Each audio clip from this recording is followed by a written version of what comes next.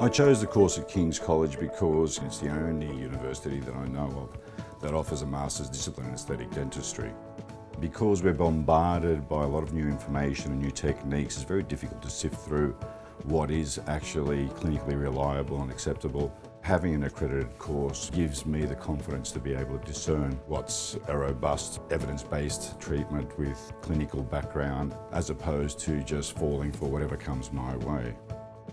One of the really beneficial consequences of doing the course is that I've now been invited back to King's and various other institutions to teach the things that I've learned. So it's really rewarding to be able to share the knowledge that you've gained with other dentists with similar interests and aspirations.